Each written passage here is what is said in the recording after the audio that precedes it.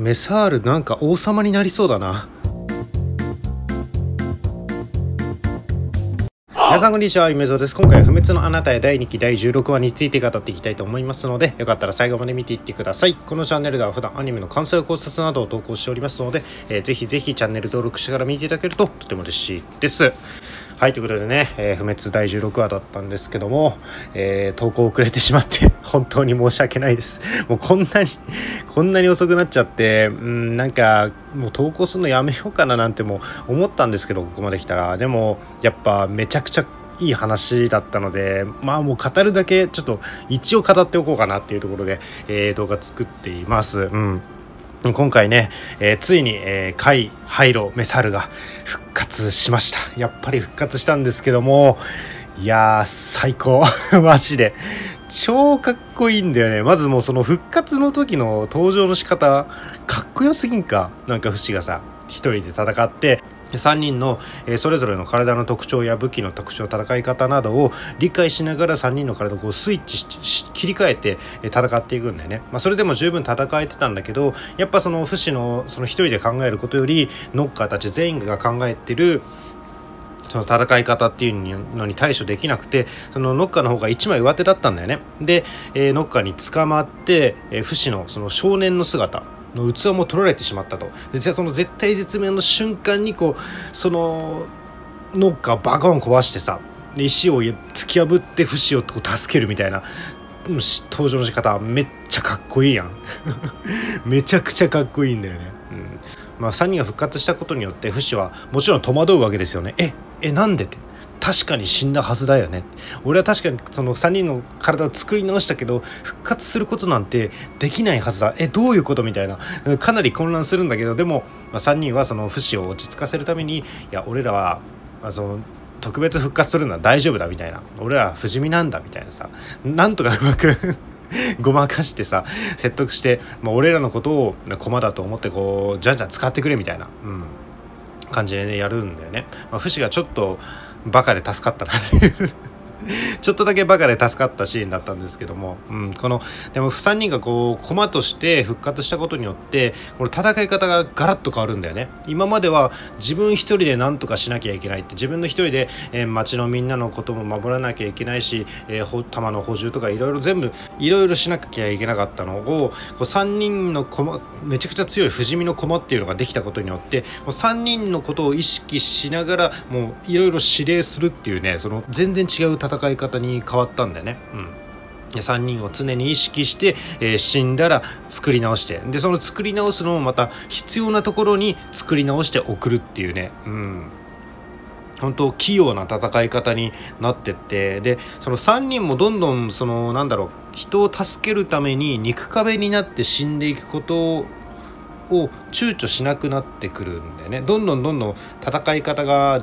死に方が雑になっててくるというか、まあ、不死身のことを生かした戦い方、うん、になっていくんだよね。でそのとうとうさ大型機大型の投石機を破壊するために3人を、えー遠くに飛ばして、うんえー無事まあ投石機は壊れるんだけどその帰る時だよね。帰る時にあの3人が躊躇なく自殺をするんだよね、うん、その死ぬことによってリスポーンしてえすぐ帰れるから、うん、まあ確かに効率はめちゃくちゃいいんだけどなんかこれでいいのかなっていう感じ、うん、フシもすごいなんか残念そうな顔をしてて。でもそのなんだろう。か貝な入るなんてマジで全然躊躇してないしメサールも貝にさ「いやここで一発でここ痛くしないようにしてくれよ」みたいなさ、うん、ちょっとビビりながらも「やってくれやってくれ」みたいな、まあ、ハイロなんて特にその痛みを感じないからさもう死ぬことにマジで躊躇ないんだろうな特に。うん。まあ、フシ自身もさこう最初から不死身だったしなんだろう。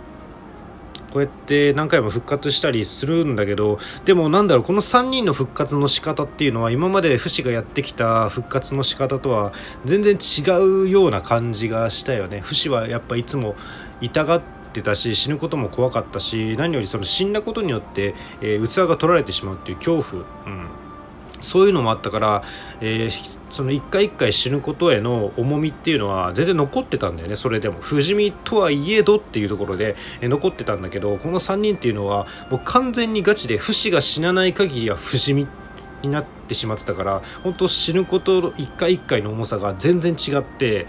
なんかこれでいいのかなっていうすごい考えさせられる、えー、シーンだったなって。うん。で一方ね、えー、科学なんですけども科学がねまたこう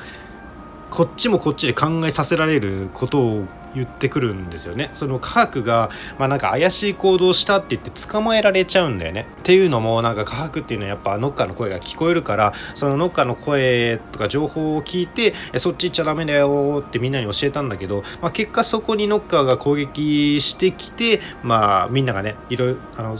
け気がみんなが怪我を負ってしまって、まあ、そのユイス金髪の女の人の、え、腕も切り落としてしまったと、まあ、その切り落としたもの多分ノッカーが手に侵入してきたから、え、とっさにその左腕のノッカーがやったことなんだけどさ。だから科学の意思でやったことではないんだけど、うん。まあ、それでも多分科学は悪いと思って、え、無抵抗で捕まったと思うんだよね。で謝った、うん、謝ったんだけど、え、お前本当にノッカー側の人間じゃないのかみたいなすごい怪しまれるんだよね。うん。まあ科学的には私がそんな器用な人間に見えますかみたいなこと言ってまあ確かになって思ったんだけど。まあノッカー科学の左腕のノッカーも嘘の情報とかもつかまされるし、えー、いろいろもう裏切り者だと思われてるからロッカー側からしても。だから嘘の情報つかまされてでそれで悪いと思ってノッカーがあの唯一金髪の女の人を守るために腕を切り落としたんだと思うんだよね。うん、でもそのおデブちゃん、まあ、ちょっとぽっちゃりしたあの男の人からしたら嘘ついて攻撃してきてしかも大好きな人の腕を切り落とした許せない野郎だみたいな、うん、思ってる。今にも殺しそうな感じのね、えー、気迫だったんですけども、うん、科学的にはねその何のために戦ってるんだっていう。誰のために何のために戦ってるんだろうって、うん、その科学は不死のことだけを思って戦ってて一人だけなんだろう戦う理由が違うんだよね。他の人はその村町の人を守りたい守るために、えー、いろんな人のために戦ってるんだけど、えー、科学だけは不死のためだけに戦っていると。うん、不死はその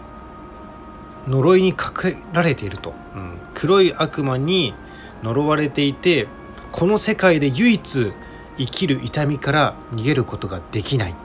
ていう言うんだよね。うんなんか確かにって、うん、その考え方なかったなって科学だからこそえそういう視点で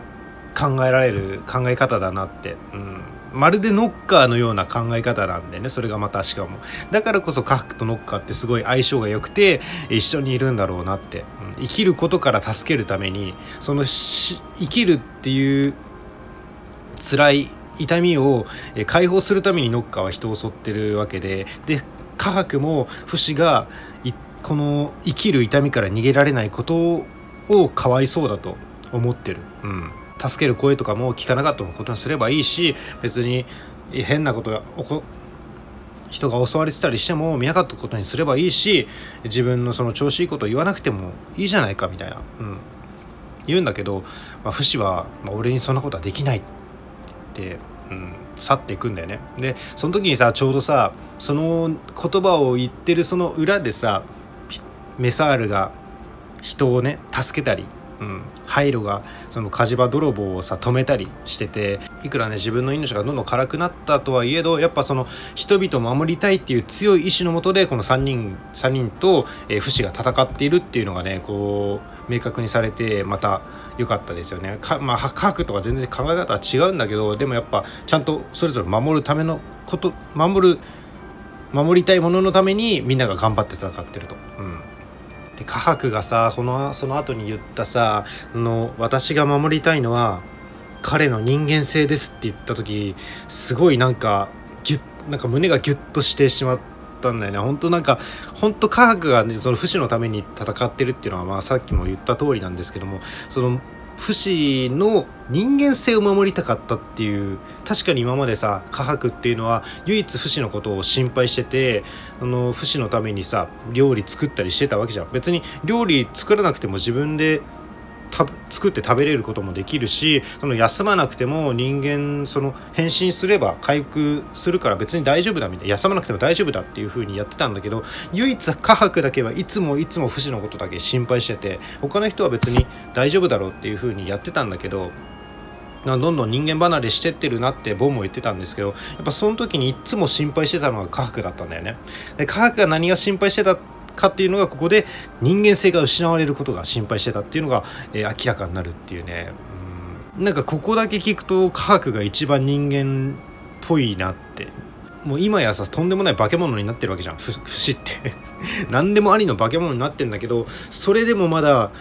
人間っぽくいてほしいというか人間性を失わないでいってほしいって。この戦いで不死以外にもカイロとハイロとカイハイロメサールがどんどんどんどん人間離れしてってるわけじゃん。自分で死ぬことを何のためらわずにやってってそれってどんどん人間性が失われる行為じゃん、うん、それは不死がやってこなかったことで、うん、その人間性を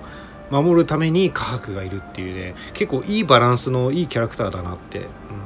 今こうやってフシが人間っぽくいられてるのももしかしたらカハクがこう少しずついつも気遣って、えー、いるおかげだったのかもしれないなって。うん、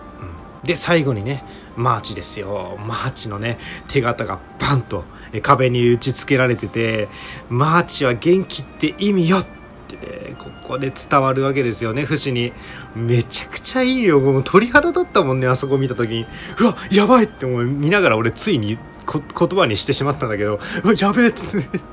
ゾワゾワってきてさ、うん、もう言文字なんていらないなってマジで。あれでバンってあのほんと手形だけでほんと伝わった。ナレーションもいらなかったもんねもう俺。マーチ元気って意味よ元気なマーチがいるってことでここで分かっちゃうんだよね。いや早く会ってほしいねマーチママ。今この疲弊してるね精神的にも来てるフシに必要な存在だよねやっぱマーチ。マーチママがこう一喝してくれてねいい子いい子してくれればもうフシも完全復活してくれると思うので、うん、早く会ってほしいなって。早くママに会ってほしいなって思いますねうんはい、ということで以上、不滅のあなたへ第2期第16話の、えー、感想と解説でございました、えー、このチャンネルではね、不滅のあなたへ毎週動画更新しておりますので、よかったら高評価とチャンネル登録もよろしくお願いします。それではまた次の動画でお会いしましょう。バイバイ。